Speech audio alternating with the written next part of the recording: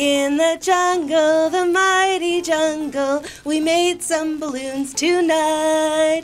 What? What? Okay, okay. Don't don't click off. Stay with me here. I'm not gonna sing. I promise. That's the end of the singing for this video. But what I am gonna do is I'm going to teach you how to make this awesome three foot balloon belly buddy.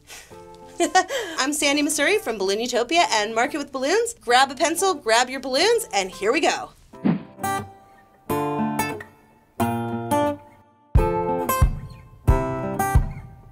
Okay, so to make this one, we're actually going to use two sets of five, or quints. And the way that we make quints is that we take a duplet, like this one, which is two balloons tied together, and then we tie a third balloon to it, which makes a triplet. And then we take our triplet and our duplet, and we twist it together, and we have a quint. Okay, so now we're going to take our quint of 9 inch balloons and our quint of 7 inch balloons. Both are 11 inch balloons, just undersized. Okay, and we're going to twist them together to make one big zebra-rific ball. Okay, this is this is just a, a big zebra ball. And twist them around. You can use the, the ground or your body for a counter pressure. You want to get it pretty tight. And the reason that you want to get it tight and that we're twisting it into a ball is so that it creates this pocket in the center.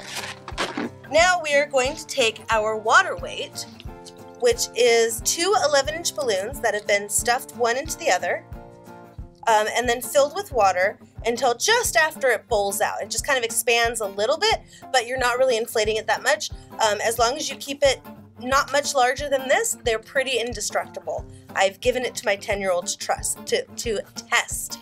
Trust me.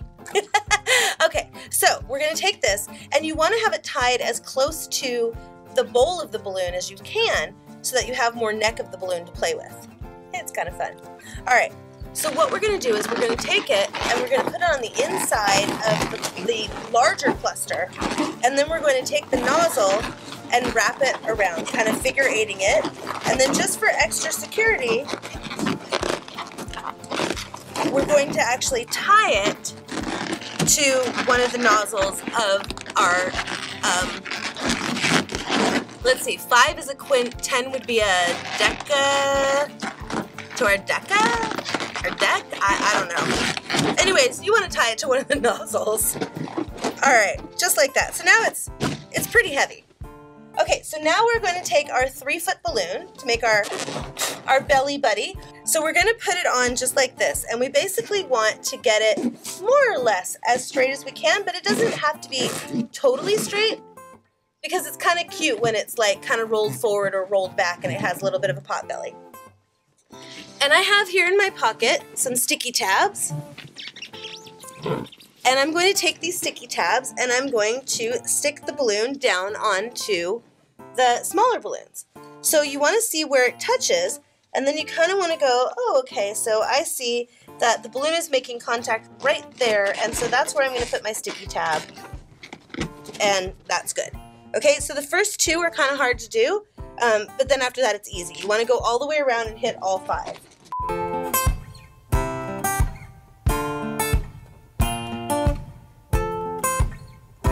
Right, so now we're going to take the quad of balloons. These are inflated to about seven inches.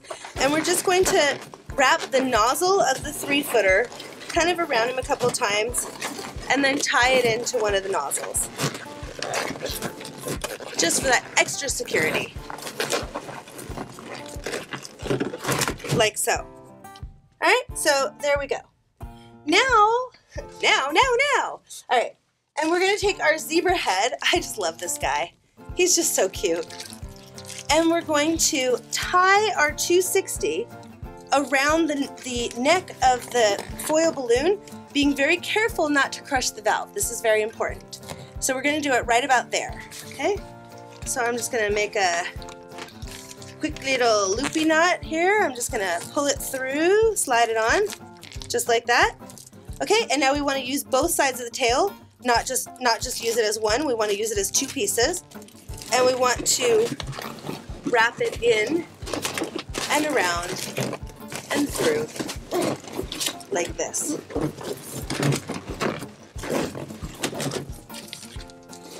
All right, there we go. And now we want to give them some fun arms. Even though zebras have um, four legs and they don't have arms, we're going to give them arms. And so all we're going to do is we're just going to make a little, like a dog head. So we're going to make a little bubble. Actually, I'm going to give him kind of loopy hands. And we're going to make a loop, just like your basic three twist beginner poodle.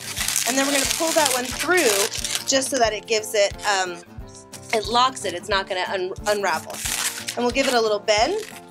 Now we want to get a second 260, ideally more or less the same size.